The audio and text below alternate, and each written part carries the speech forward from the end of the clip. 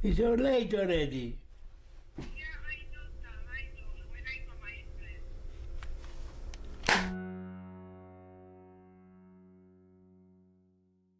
There is nobody like my father.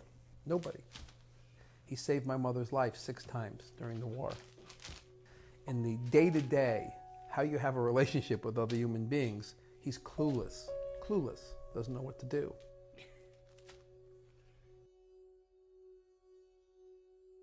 I still remember today the pains, the terrible pains.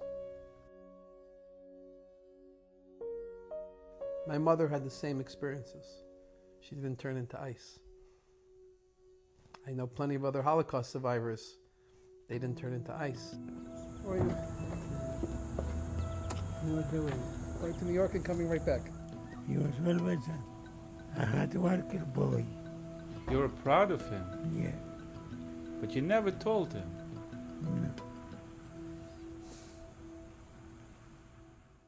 It's the most horrible thing you could do to a person. It's the most horrible thing you could do to a person.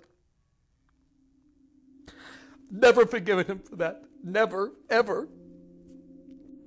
In a moment like this, you don't think what you say.